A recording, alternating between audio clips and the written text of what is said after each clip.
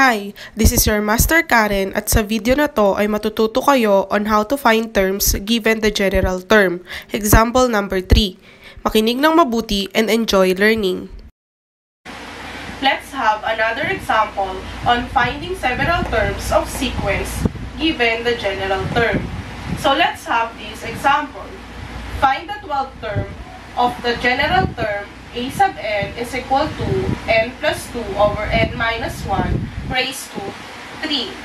Ang ibig sabihin nito, hanapin daw natin ang 12th term ng isang sequence na ang general term is a sub n is equal to n plus 2 over n minus 9 raised to 3. Ang n natin ngayon is 12.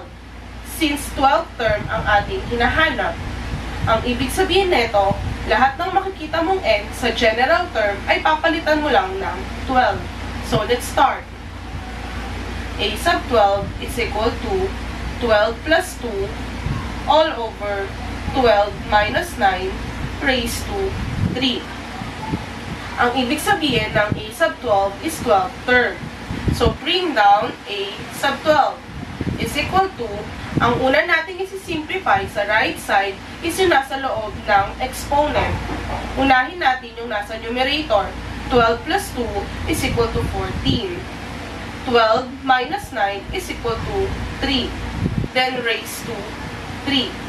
Ang susunod natin isi-simplify is si 14 over 3 raised to 3. Ang ibig sabihin nito is 14 over 3 times 14 over 3 times 14 over 3. 14 times 14 times 14 is equal to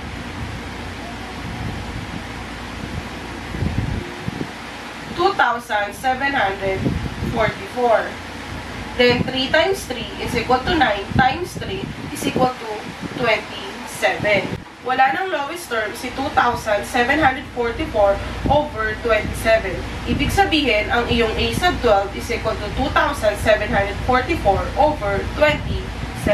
Thank you! See you on my next video and learned with Master Karen every day. For other topics na gusto nyo pang i-discuss ni Master Karen, just comment down below.